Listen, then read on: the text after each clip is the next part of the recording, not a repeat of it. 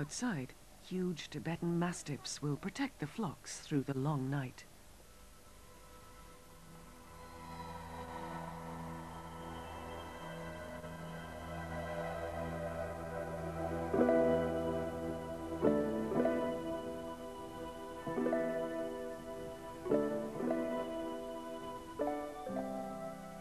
As soon as the sun vanishes behind the mountains, the temperature falls fast towards freezing point, and the nomads retire to the warmth of their tents. The center section of the tent over the hearth forms a two-foot wide skylight and smoke vent.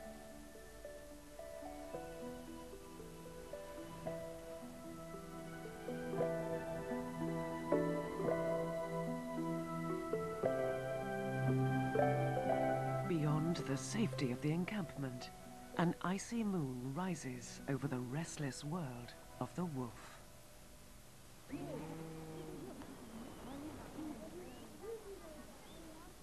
The nomads have spent six weeks in the valley, and the pastures are becoming overgrazed.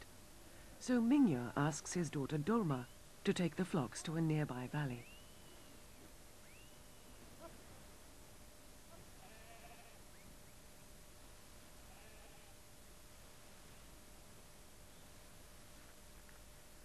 But a pack of Tibetan wild dogs have also entered that valley. There are three dogs in this hunting group, and they pose a considerable threat to both sheep and goats. They are very rare, and few Changpa have ever seen one. Just how many roam the plateau isn't yet known.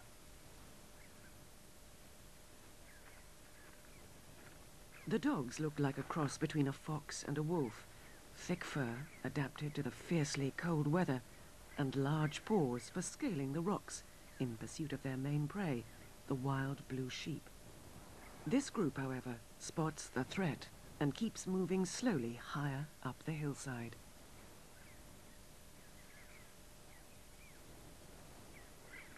The going finally gets too steep, and the dogs have to give up.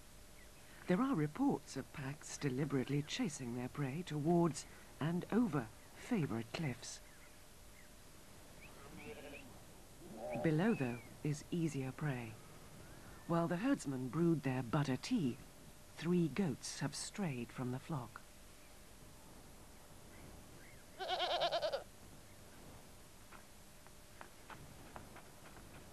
The dogs quickly close in.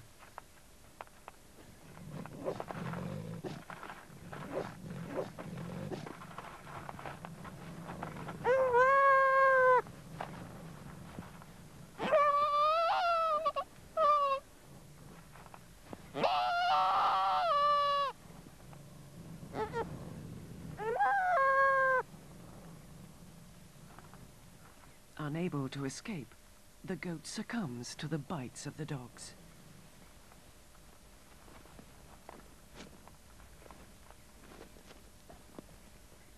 The dogs eat quickly. The herdsmen are too close for comfort. Any moment could bring discovery and the loss of their kill.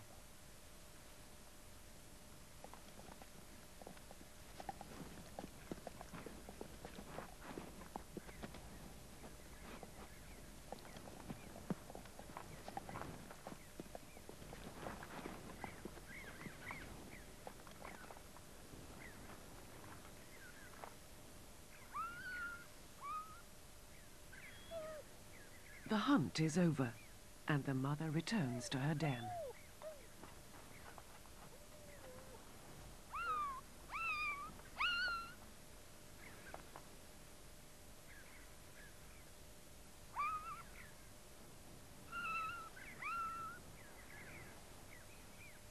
Pups are nursed for about eight weeks, but they won't join the others in the hunt until they're seven months old. Having adapted in isolation to life in the mountains, these Ladakhi wild dogs may actually be a new subspecies.